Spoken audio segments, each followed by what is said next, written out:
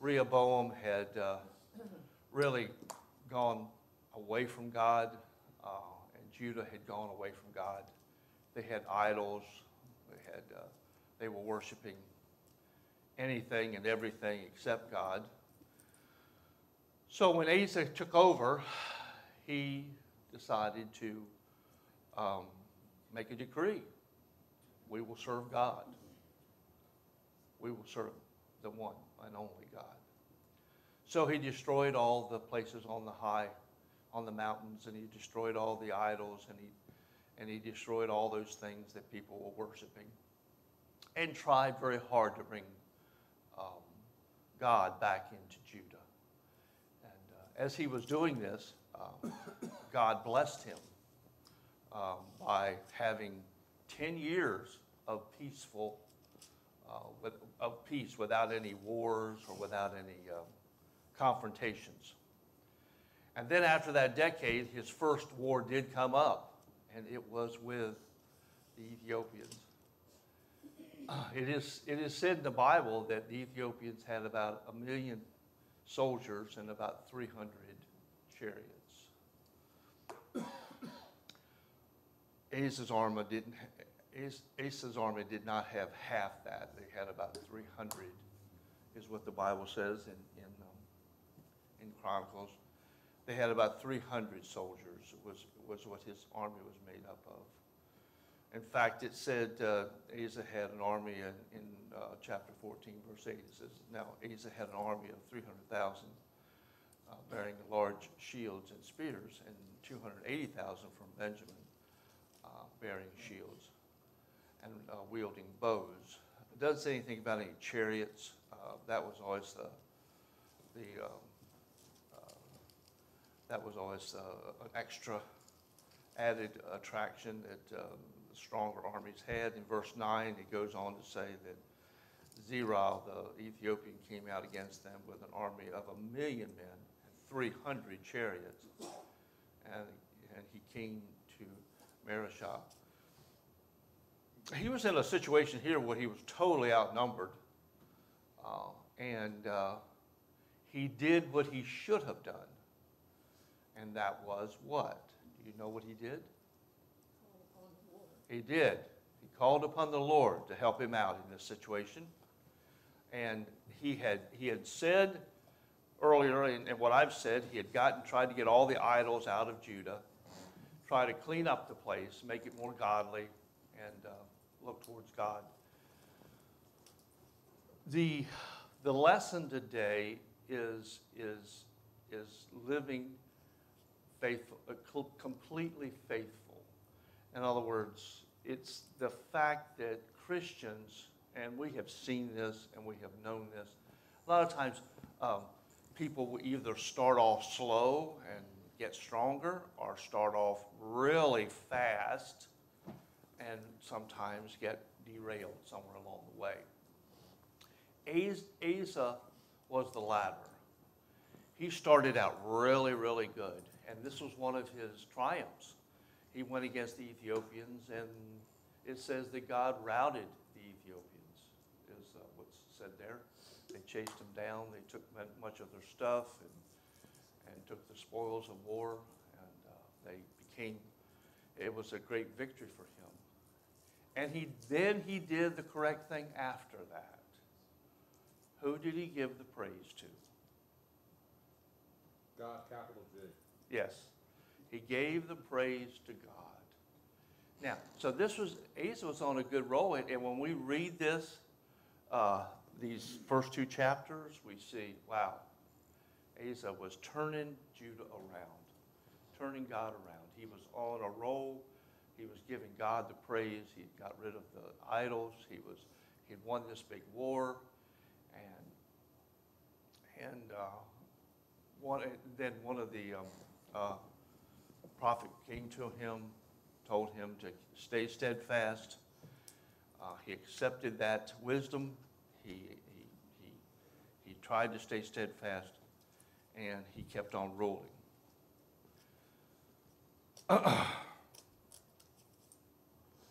so where, where does it all change? Well, His decree was to seek the Lord God.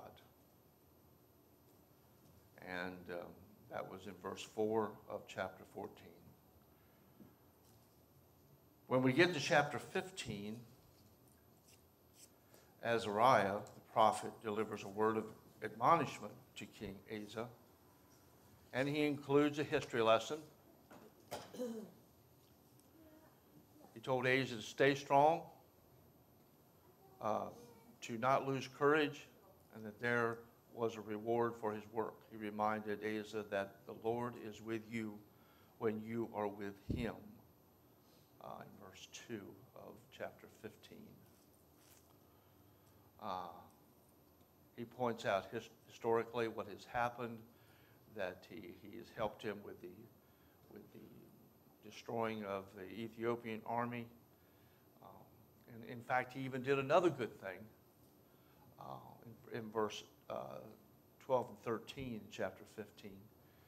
Uh, those people that wanted to defect from Israel to Judah, um, it says that they entered into the covenant to seek Lord, the Lord God of their fathers with all their heart and soul, and whoever would not seek the Lord God, Lord God of Israel, should be put to death, whether small or great, man or woman.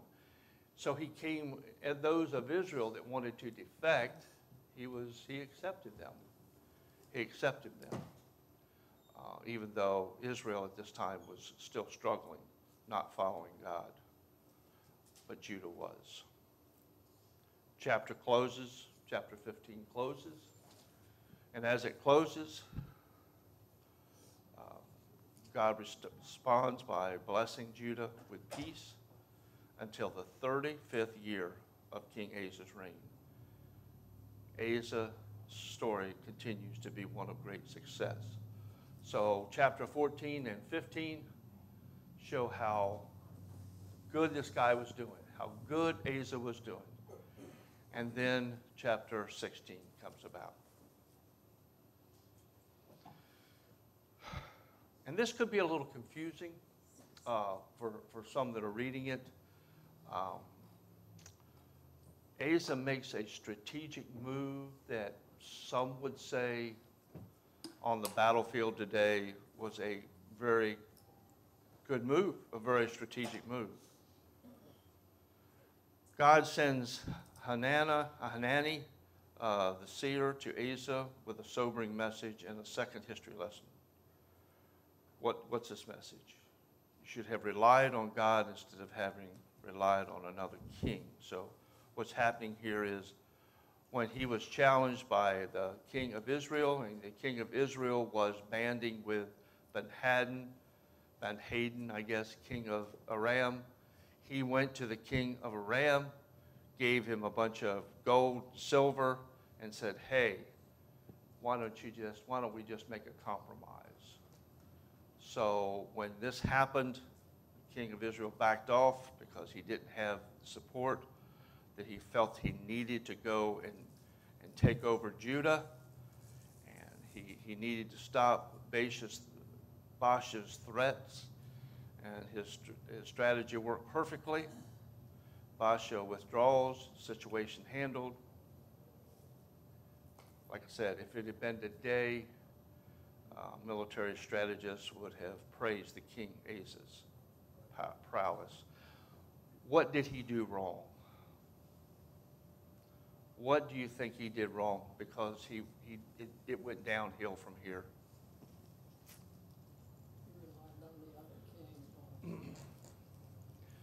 He relied on the other king instead of relying on God. All of a sudden, I guess after 35 years, he's, he felt like he could do it. He could do it. Does that happen sometimes in our lives that we get to the point that we think that we're so right or religious that we we put more of our self into it before we put God into it.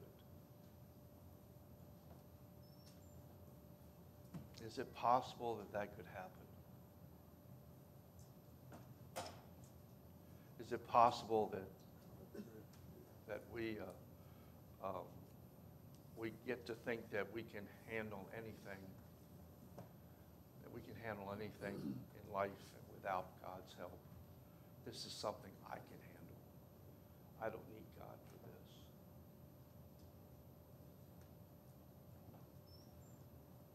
I think it's easy for us to slip into that. I think it is too, Phil. Just looking at Asa and all the other people in the Old Testament that did that, it's part of our human nature.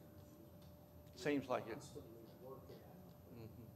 putting God first. Yeah, it, it seems that way, that it, it it is easily that we can slip into thinking that this is something that we can handle. Um, and, and I, I, I know I've done it. I, you know, I've, I've felt that, "Ah, why bother God with this? I can handle this. This is no big deal. Um, um, And I, but I think that, um, the uh, prophet here was trying to tell Asa that, you know, you try, you're trying to switch over the attitude of, of, the way the uh, Judah feels about God. Then let's include him in everything. Let's include him in all our decisions. Let's include him, include him in the way we approach life. And yet Asa had done that so well for 35 years. He, had- he had done it so well, but so quickly he, and here again, when I, when I've read this several times and I've looked at it, and it seems as though this, that this was a pretty, pretty strategic move, strategy-wise, to uh, stay out of war. Um, What do you think about that? Was it a good strategical move?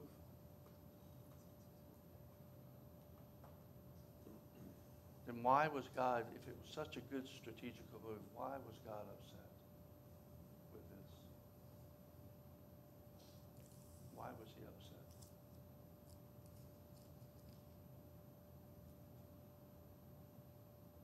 The prophet told him that he would, that there now there, Judah would continue in warring because of what he had done here. Where he had gone all those years with relative peace, and yet now it was going to be a different story.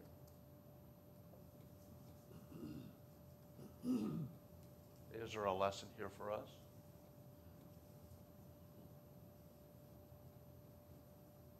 It's like God always has plans for us, but sometimes we think that we have a better plan, and that we, we can't be that way. We have to, God has a way for things to go one way, like, and we go another, but then after a while, you're gonna get back on God's plan, cause he's gonna make things happen to get you back that way. It's like learning the hard way. Yeah, there you go. There you go.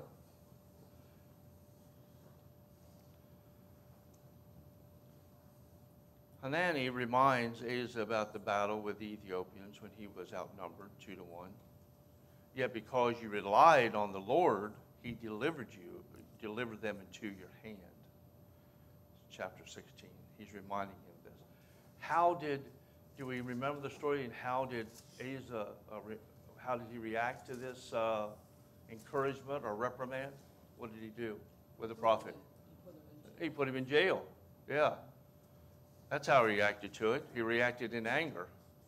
He responded to it with this message uh, in anger. Um, he throws his messenger into prison. Three years later, Asa becomes seriously diseased in his feet. His disease was very severe. Even in his disease, he did not seek the Lord, but he sought his physicians. Here again, um, and, and I read this. Well, it wouldn't be wrong to seek the physician, but he wasn't. He was putting them first and not going to the Lord to help him.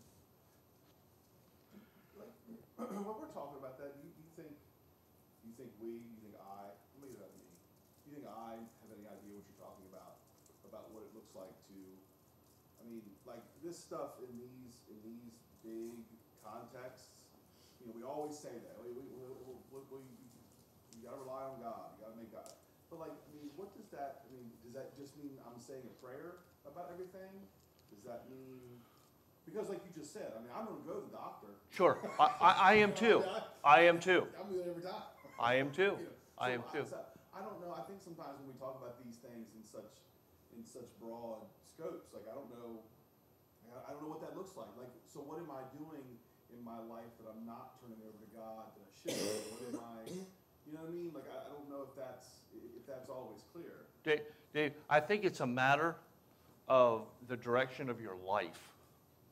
In other words, um, I think a lot of times it is a a sincere prayer to our, our God. I think it's a, it's a time when things are troublesome that, uh, well, I can do this and this and this and make it all better. But I never, ever, ever think it's wrong to ask God for help in that situation. Amen. Um, I, I, I, I think that the point that uh, I think uh, the lesson is in Asa is that he had lost his dependence on God, and because of his position, maybe because of his, and I don't know what it is to be a king. So, but his total control of Judah, he was the king. He, what, when he made a decree, all the guy, all the people had to do it, you know. So, but I, I think that uh, even especially in a, in a position that he was in where he could decree whatever he wanted to, that there's a real attraction to feel as though over this 36-year period that he was king, that you become more dependent and think that I can do it rather than needing God's help. And I think that's the principle behind it all. I, I think, I think it's just a fact that, and, and we've said this before, and you, you may have heard me say it before. A lot of times, uh, you hear this all the time, well, all we can do now is pray.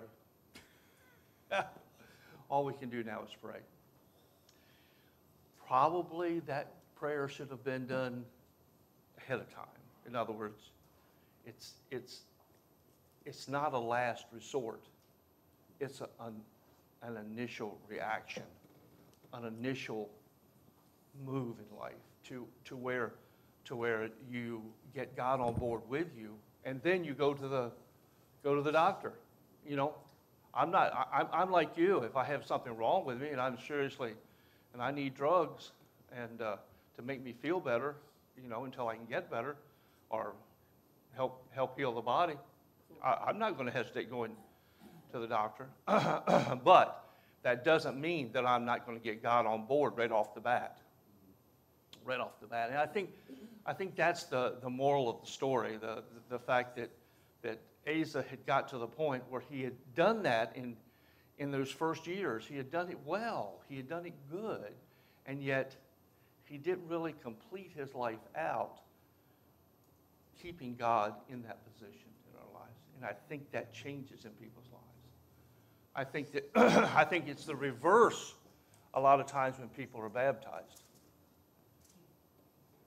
Do you think with him that it was more, he felt like he was doing it instead of God was doing it? That creeps into that.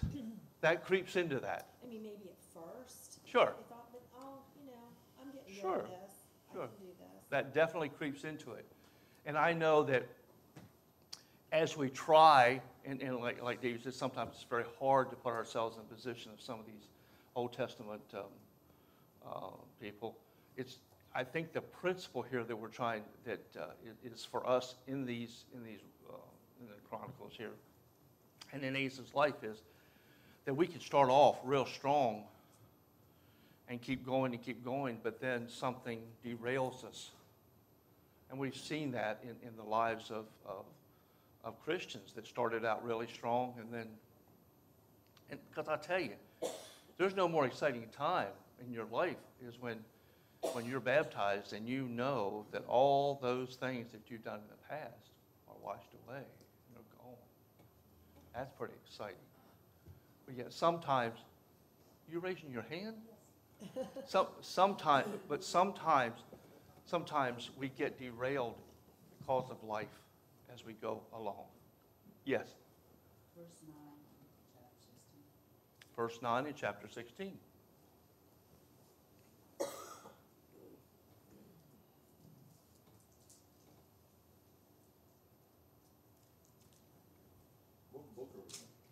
Second Chronicles.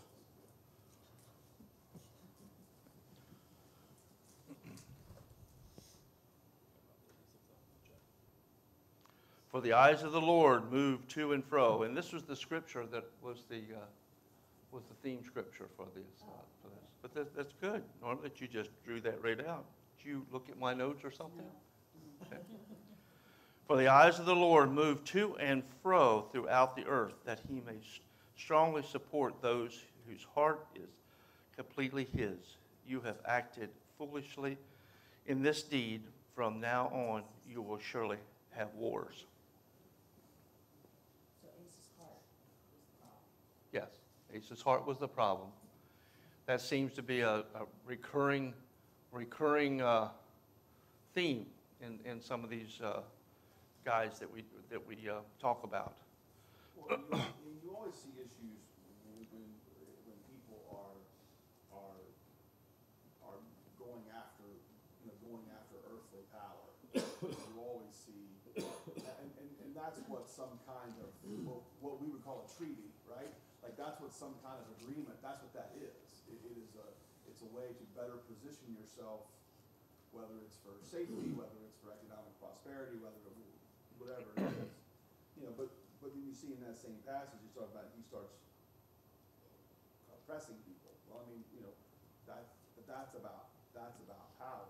In the Old Testament, that really is what, I mean, goes on constantly. Constantly. Until, until Jesus says, you know, my kingdom is not of this world, and if it was, we'd fight. But we don't fight, because that's not why we're here. That's right. And, it, you know, it, it, it brings about a lot, a lot of clarity as to why these people have the problems that, that they have, because they're always trying to fight for power. And, you know, Jesus isn't about that life. Right, right. And that, and that puts true perspective on things. Those that are seeking power, it's going to end up uh, uh, drawing yourself farther away from God. Let's look at, uh, there was a scripture I wanted to look at. It's in Hebrews.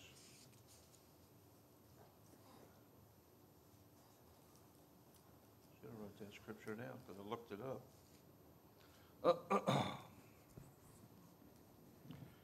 See if I can find it.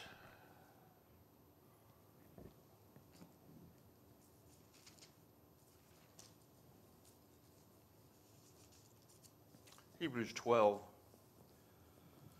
starting in verse 4.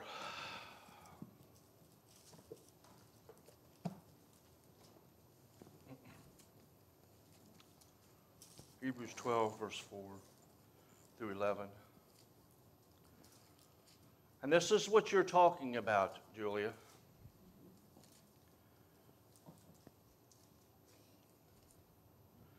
You have not yet resisted to the point of shedding blood in your striving against sin. And you have, you have forgotten the exhortation which is addressed to you as sons. My son, do not regard lightly the discipline of the Lord, nor faint when you are reproved by him. For those whom the Lord loves, he disciplines, and he uh, scourges every son whom he receives. It is for discipline that you endure. God deals with you as sons. For what son is there whom his, father does not discipline? But if you are without discipline, of which all have become partner, partakers, then you are, then you are um, illegitimate children and not sons. Furthermore, we had earthly fathers to discipline us, and we respected them. Shall we not much rather be su- subject to the Father of spirits and live? For they discipline us for a short time as seems best to them, but he, but he disciplines us for our good, so that we may share his holiness. All discipline from the moment seems not to be joyful, but sorrowful, yet to those who have been trained by it, afterwards it yields the peaceful fruit of righteousness. What does that mean to you?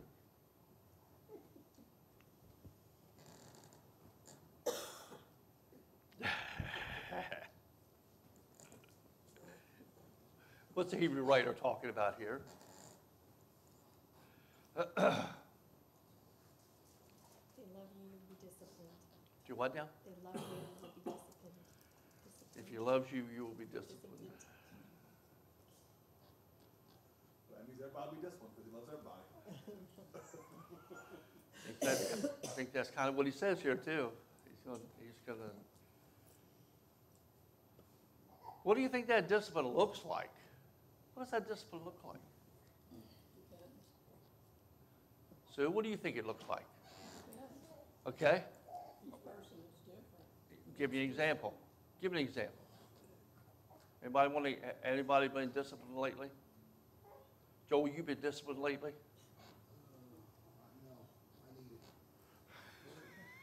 Don't, but don't you think that's the question? Like, like, does anybody, not to, not to ask the question of the crowd on your behalf, but like, without any specifics, does anyone believe that God has disciplined them, and can they pinpoint a time where, where they think God has disciplined them?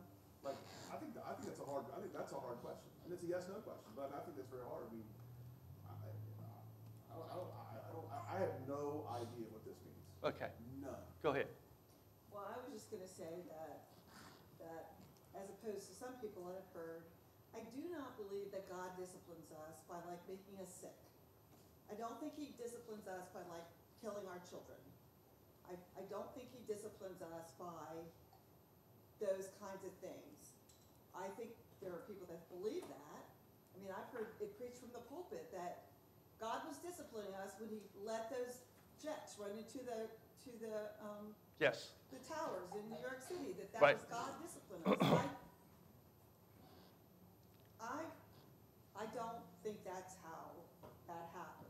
I don't think so either.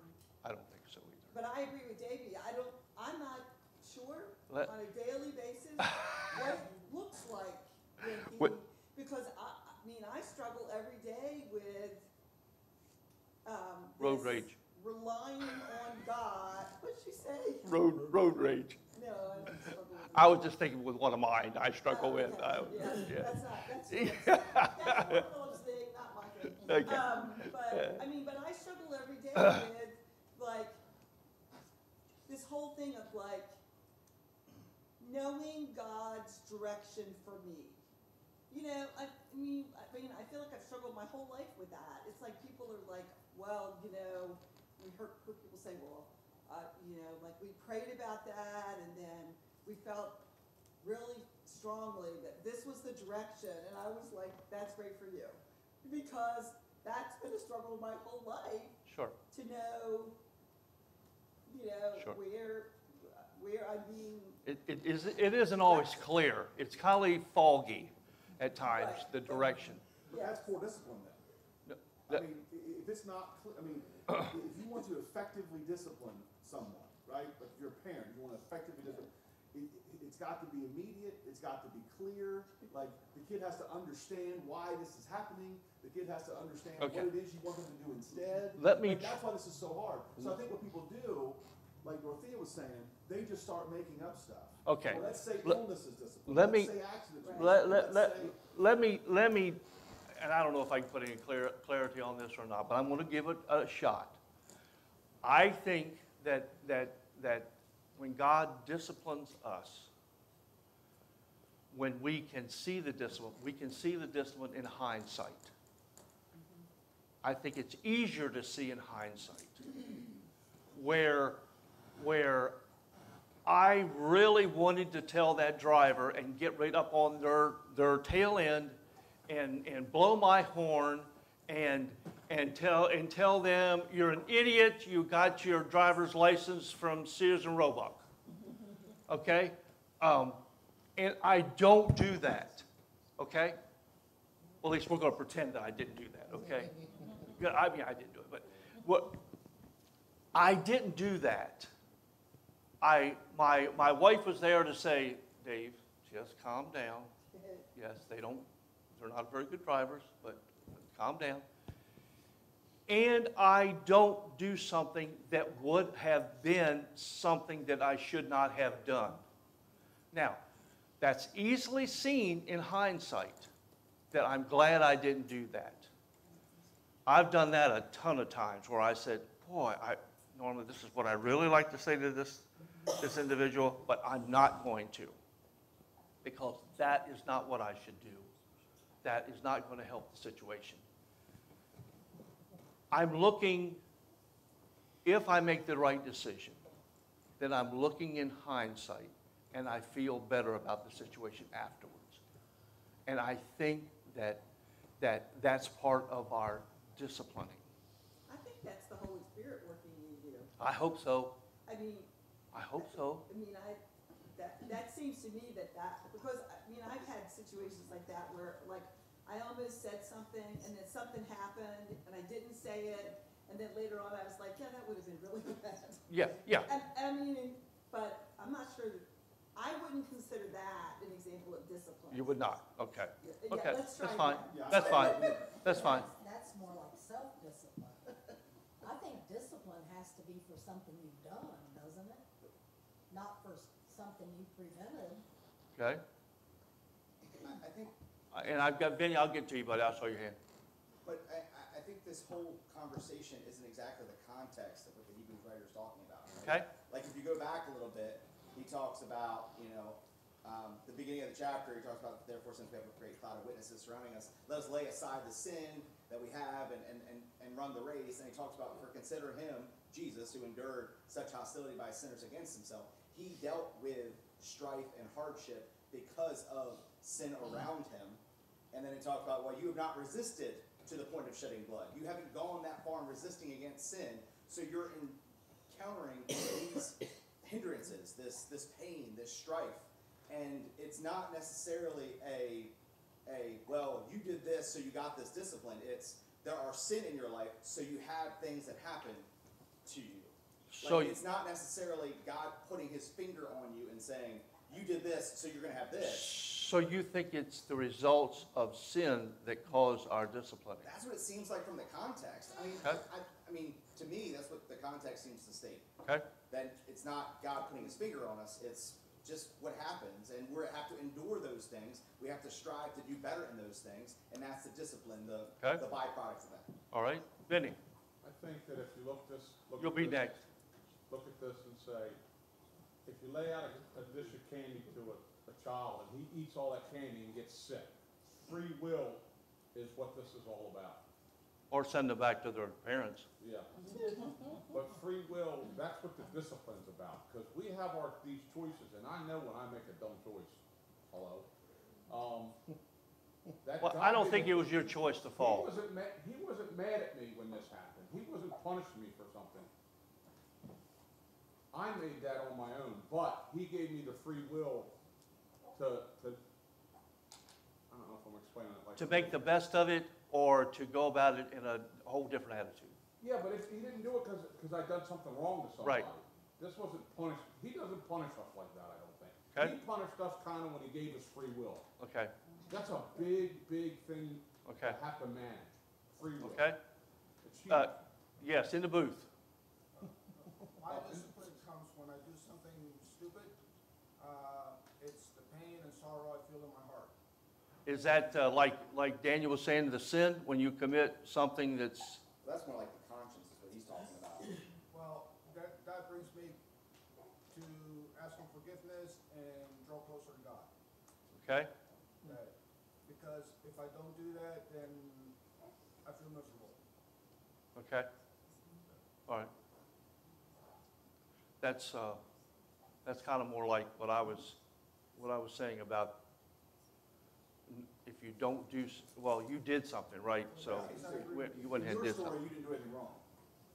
Yeah, but I could have, I could, but it, it was in my mind. It was, it, it, it- that was the, the thought, the, the thought was there, right? The thought was there. Okay, yes, yes. the definition of that word is to train up a child, i.e. educate or implication, discipline by punishment, chasten, instruct, learn, and teach. Okay? Could be that, we're looking at discipline as how we talked about running a race earlier. Somebody running a race goes out and trains, in they're in training and learning how to do it, are we not teaching ourselves, being trained in what to do in God's work? Yeah. Just thinking, looking at it a Sure, little bit sure. differently at the work. Sure. That, you know, in today's society, um, in today's culture in the United States, discipline has a whole different meaning for every person you talk to. You know, I mean, the word, the word discipline. Um, and I know it's, I know it's, it means, you know, try to change a person's, or try to direct a person in the right direction, um, but it has so many different, so many different meanings. And, uh, I think you brought up some good points, and uh, I'm not gonna disagree with any of them. Um, but I, I, you know, I, I read this, I read this passage and I, like you said, yes. some, some people look at it as, you know, way over here, and some people look at it, you know, way over here. And um, I'm going to leave you with this confusion. Um, and, and you, you can uh, study this and come to your own conclusions on it. But thank you so much.